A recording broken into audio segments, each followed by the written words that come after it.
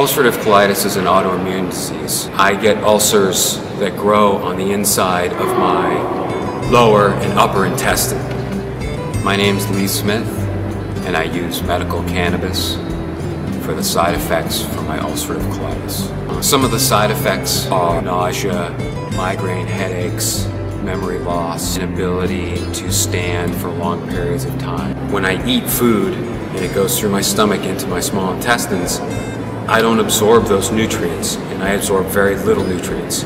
I become malnourished, I become dehydrated. Since 1999, I've been in the hospital 60 times, sometimes up to a month at a time. My primary care physician endorses my use of medical marijuana, and I hope that you